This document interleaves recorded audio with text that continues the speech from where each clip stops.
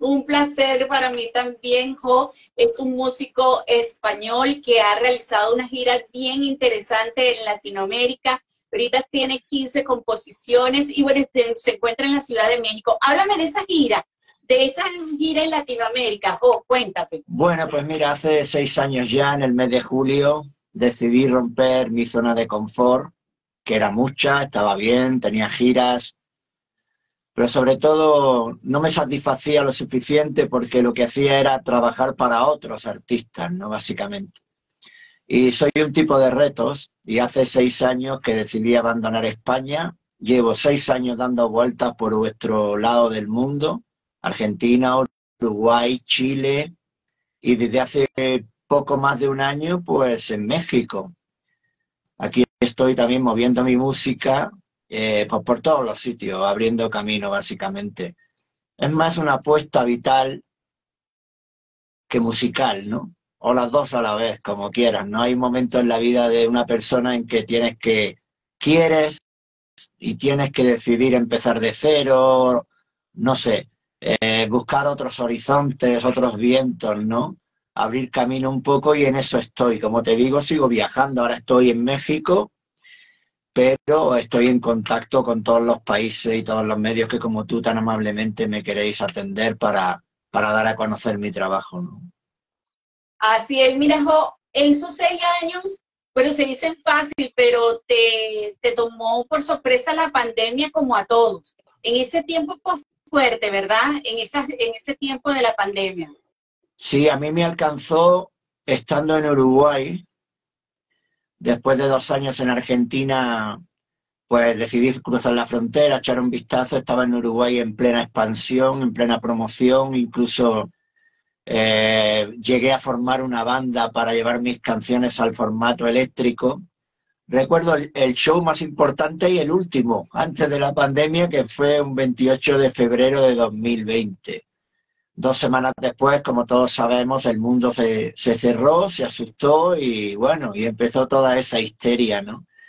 Pero bueno, hemos sobrevivido, ¿no? Que es lo importante, que ya ha sido complicado para tantos seres humanos y a mí me alcanzó, la verdad es que reconozco que hubo momentos muy complicados y muy difíciles, soy honesto en eso, pero bueno, de todo se sale, ¿no? Con, con pasión y con amor por lo que, por lo que uno hace, ¿no? Siempre, siempre con la premisa de que no hay que dar nada por hecho, que todo puede cambiar en una milésima de segundo para bueno y para malo. Yo creo que esa es la gran lección que, que yo aprendí y que creo que muchos seres humanos también aprendieron, ¿no?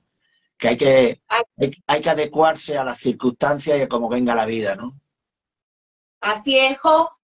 Mira, tú eres músico español. Cuéntanos un poco esa trayectoria desde pequeño para que la gente se ubique, esa gente que, te sigue y también esa gente que te va a seguir próximamente después de esta entrevista. Cuéntanos esos inicios de la música.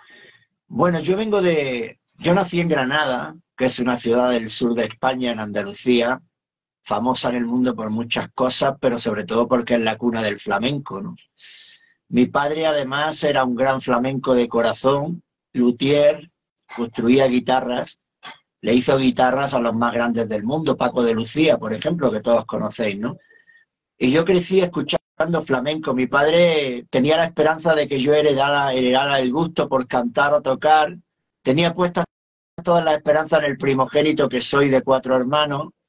Para su excepción le salí por el lado rockero de la vida, ¿no? Fui más de guitarra eléctrica, ¿no? Pero se suponía que tenía que estar ahí el gen por alguna parte, ¿no? La verdad es que yo tenía otros planes de vida. Yo, yo quería ser arqueólogo, nada que ver con, esto de la música ni la guitarra. Era buen estudiante, me gustaba mucho el deporte y mi vida iba a ir por otro sitio. Pero supongo que la vocación está y sí que hay destinos escritos en estrellas perdidas en vez de todo a saber qué galaxia, ¿no? De pronto el mío apareció, mi vocación apareció y ya no la solté más y me dedico a esto, la música es mi profesión, me dedico a ella en cuerpo y alma desde que me levanto hasta que me acuesto y, y vivo de ella. Como todos los seres humanos, a veces mejor, a veces peor, pero fue una cosa de verdad que no tenía planificada, simplemente estaba ahí y un día apareció y ya han pasado treinta y muchos años y aquí sigo, ¿no? Y ahí sigue. Mira, vamos a saludar a Yam y a Mari. Gracias por estar aquí. Y a Suchi, Suchi Yankee, gracias también por estar aquí. Hoy estamos entrevistando al músico español o conociendo su trayectoria. Ahora, fíjate, tú también participaste en bandas, ¿verdad? Así como me lo señalaste. ¿Qué te dejaron las bandas? Bueno, yo siempre he sido de banda. Siempre me he sentido muy desnudo encima de un escenario grande o pequeño, mediano, con una guitarra nada más. Fíjate, ahora no podría estar sin hacerlo, ¿no? Pero siempre me ha gustado estar arropado y cada vez que me embarcaba en un proyecto nuevo, aunque en realidad siempre he sido un solista, ¿no? Por definirlo de alguna manera, una especie de, jefe, ¿no? En positivo, ¿no? Porque siempre he compuesto mis canciones y siempre me han gustado que las cosas se hagan a mi manera, pero, pero mis proyectos siempre han sido de banda, sobre todo de pop y de rock. Llegó este proyecto, me lo planteé y llevo lo que llevo como juego es, digamos, el formato acústico y en solitario que más me ha durado de todo y espero que ya me dure para siempre. Pero yo empecé con bandas de rock and roll clásico, de rockabilly, de country, con aquella estética de tupé, de patillas, ¿no?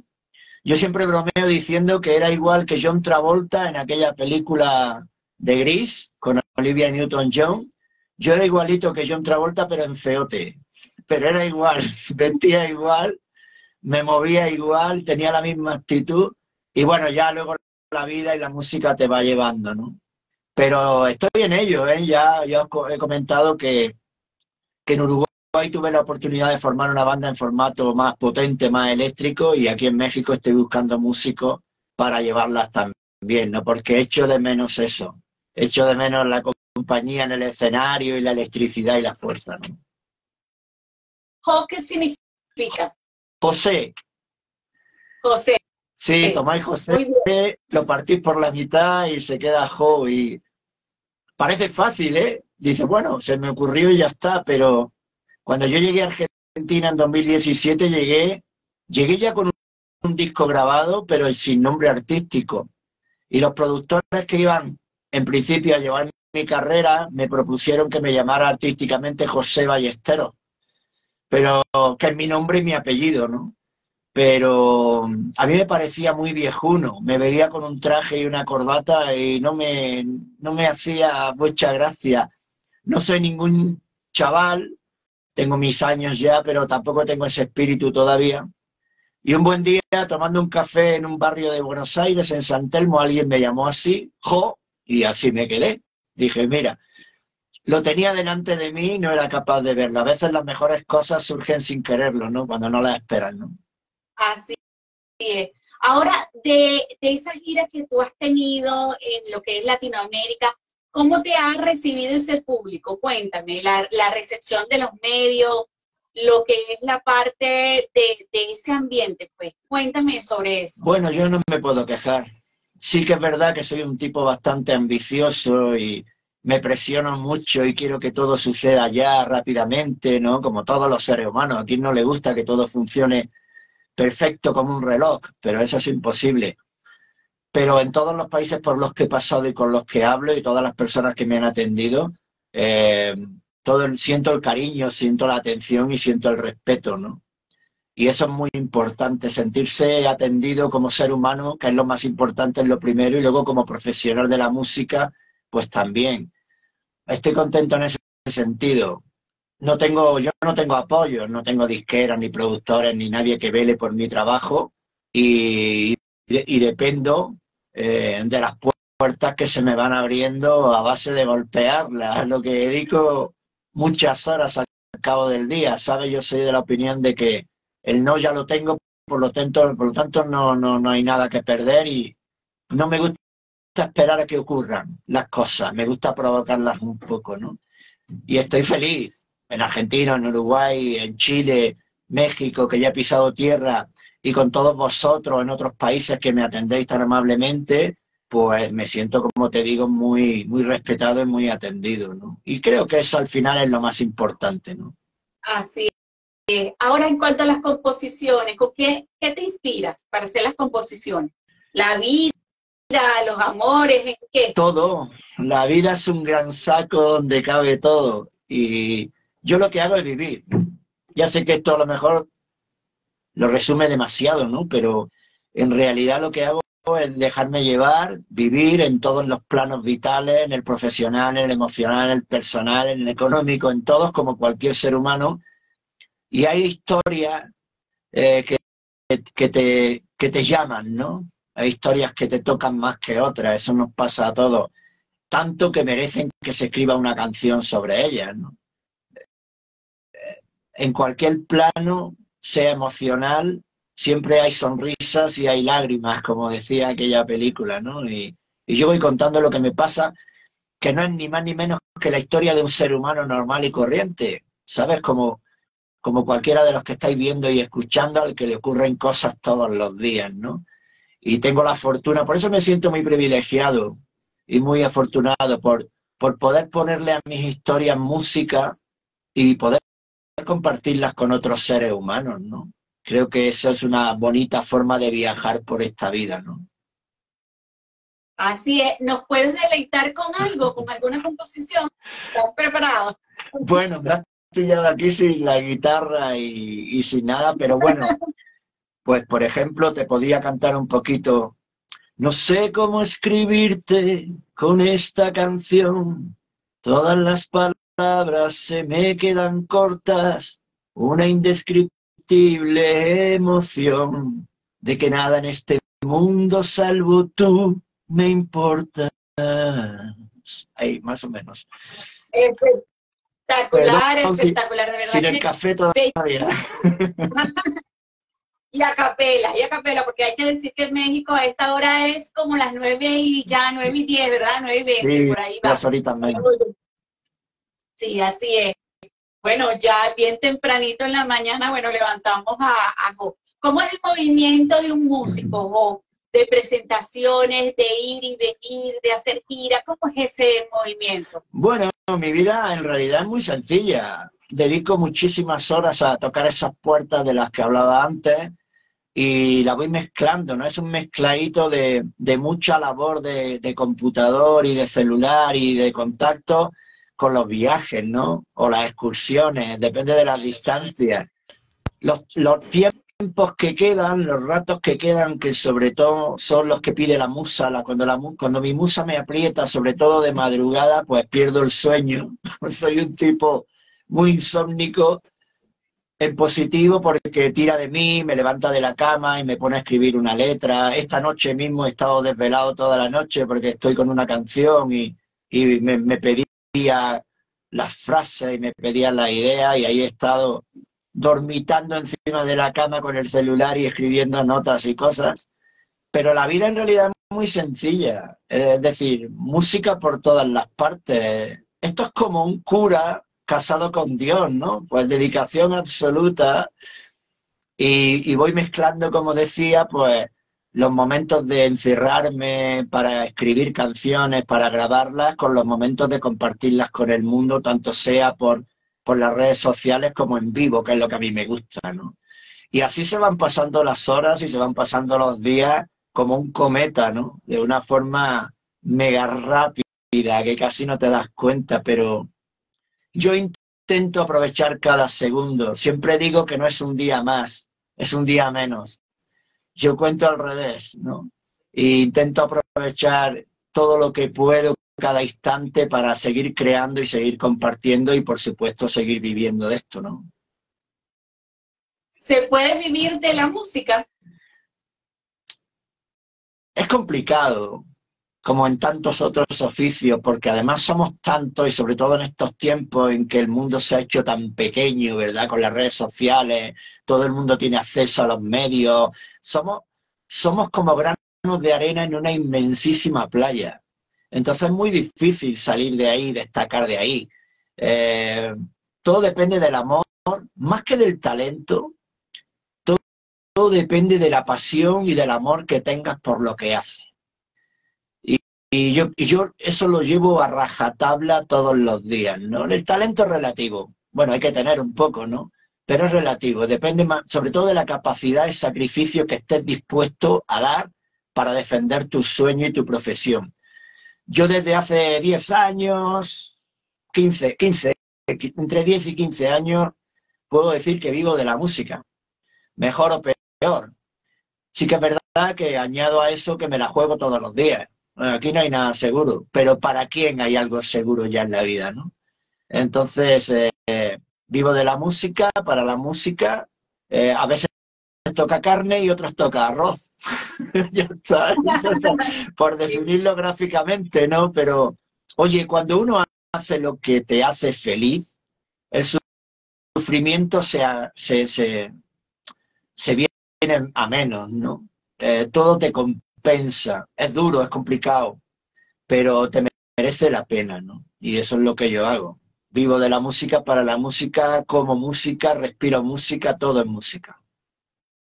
Todo es música. Mira, vamos a, saludar a Accesorios Hasta y a Rotundo Luisa. Gracias por estar aquí. Hoy estoy entrevistando al músico español. Bueno, su trayectoria es eso, como él lo dice, lo define, es música, es pura música, vive de la música, respira de la música y eso es Jo. De todas las composiciones que has realizado, ¿cuál te ha tocado más el corazón? Que tú dices, wow, esa no la puedo dejar nunca. Siempre la voy a tocar. Sería mal padre, ¿no? Si quisiera a, un hijo más que a otro, ¿no? Una hija más que otra. Todas forman parte de mi vida, mi puzzle, ¿no? Son piececitas, ¿no? Que voy cosiendo ahí, ¿no? Hay canciones más importantes. Yo sigo tocando canciones que escribí hace 20 años no soy de esos músicos que piensan que lo último que ha hecho es lo mejor o lo más adecuado. Yo sigo mi estilo, entonces sigo cantando canciones. Este trocito que, os, que te he cantado, que os he cantado antes, es una canción que escribí hace 15 años. Siguen estando conmigo, las llevo conmigo porque son recordatorios permanentes de partes importantes de mi vida. No podría elegir una, pero dependiendo, dicen que hay un momento para cada canción en cualquier vida humana. Y a mí me pasa eso, ¿no? Entonces a veces necesito escribir una canción nueva porque tengo que desahogar el alma y tengo que sacar adelante eso, el lastre o la, la, alegría. La... Y otras veces me refugio en viejas canciones que me hacen sentir como si las hubiera escrito ahora mismo, ¿no? Entonces, bueno, todas son importantes. Todas son importantes, ninguna preferencia con ninguna composición. Qué bueno. ¿Cómo te describes, Jo? Como músico, como compositor, como, como creador de sueños, ¿cómo, cómo te, te defines? Yo soy un tipo que escribe canciones nada más y nada menos. A mí lo de artista, lo de a mí eso, todo eso me viene grande. La grandilocuencia no me gusta nada y soy un tipo normal y corriente que va convirtiendo sus historias en canciones para convertirlas con otros seres humanos. Soy un tipo muy sencillo, ¿eh? al que le gusta las cosas sencillas de la vida, el olor a café, eh, los, viajes, conocer personas, crecer, ¿no? Así que, como bien digo en mis redes sociales, soy un hombre hecho de música. Creo que es la mejor definición. Qué bueno, un hombre hecho de música. Y para este 2023 que ya, bueno, ya viene diciembre, cuando viene agosto ya es diciembre. estos necesitan que faltan, ¿qué va a hacer Job? Cuéntame, ¿vas a continuar haciendo giras? Cuéntame. Sí, no, eh, eh, eh, estoy, en mi incansable, siempre estoy de gira, en todos los sentidos, mi vida es una continua gira, y yo esperaba de 2023 más o menos lo que está siendo para mí y para muchos seres humanos, el año de, de recuperar un poco todo lo que nos quitaron, ¿no? un poco, ¿no? De poder respirar, aunque siempre nos están metiendo el miedo, ahora están metiendo el miedo otra vez, pero es un año de recuperación, de volver a, sacar la cabeza y decir, estamos aquí, tenemos muchas cosas que hacer y muchas cosas que decir y nadie nos va a vencer. Y yo tengo ese espíritu, estoy haciendo muchas cosas, entrevistas todos los días prácticamente, hoy tengo tres, por ejemplo, y, y sigo, y sigo escribiendo canciones, grabando canciones, acabo de lanzar una nueva canción y un videoclip, en junio ha salido, ya están todas las plataformas forma digital el nuevo álbum con 15 nuevos temas y eso es lo que voy a seguir haciendo, viviendo, haciendo lo que amo con todas las consecuencias y hasta el último día. ni siquiera, es como cuando al, final dice, es tu cumpleaños, y dice, ay, ya casi ni me acordaba, da igual, ¿no? un poco, ¿no? Es un año más y tal. Pues esto es lo mismo, ya no, no yo ya no mido el tiempo en los años, ni en los meses, ni en las semanas. Me dedico a lo que me dedico, intento sacarle todo el partido, intento ser lo más feliz posible y seguir adelante, siempre sin descanso. Así es. ¿Dónde se puede conseguir tus temas, Jo? Bueno, plataformas digitales, como decía en Spotify, por ejemplo, que es la más conocida para todos. Ahí está mi nuevo álbum que se titula Canciones premonitorias y otras serendipias. La serendipia es, para el que no lo sepa, aquello que aparece de pronto cuando probablemente estás buscando otra cosa, ¿no? Una casualidad de la vida. Yo soy muy serendípico. Y, luego en las redes sociales, en Facebook, en Instagram, en mis dos canales de YouTube, Jo, un hombre hecho de canciones y Jo, un hombre hecho de melodías.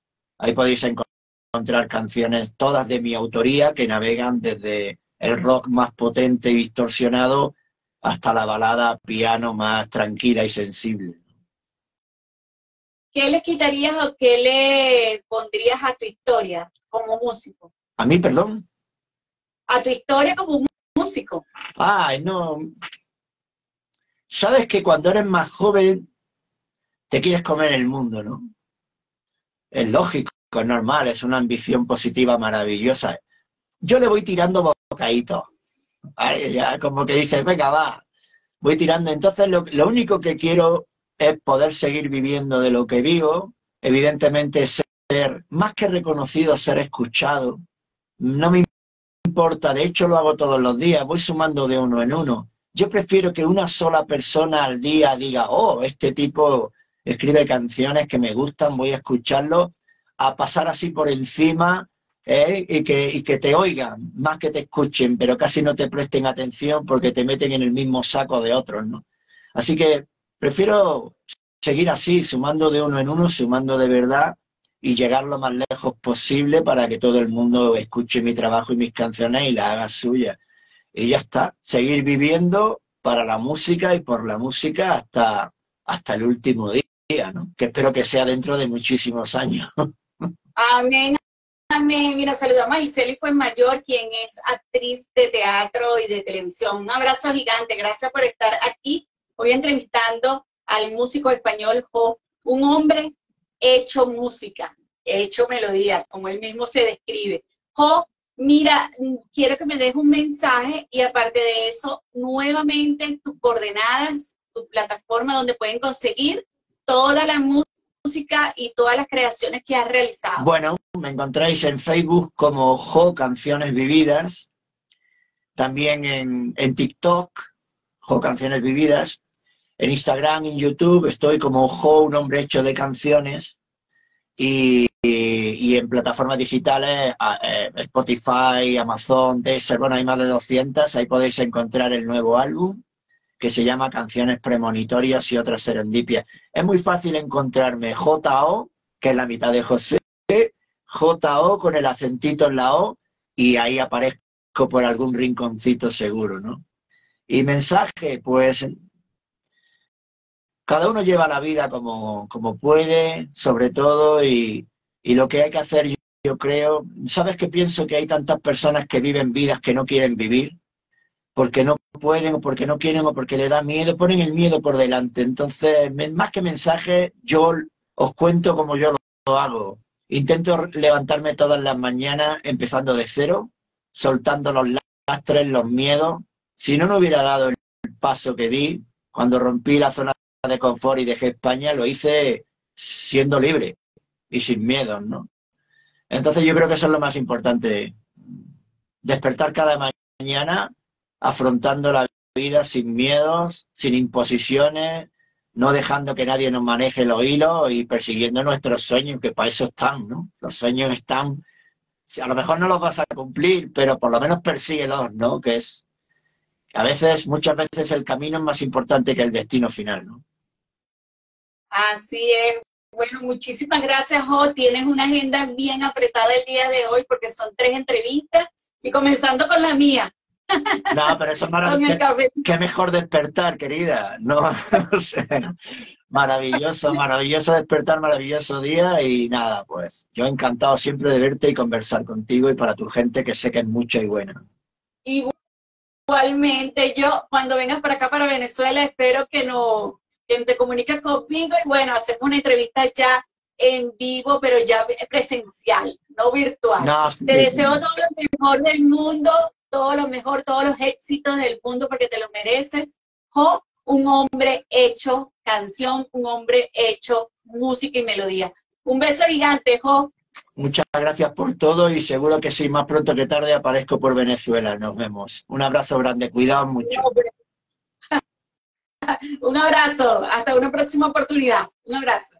Gracias.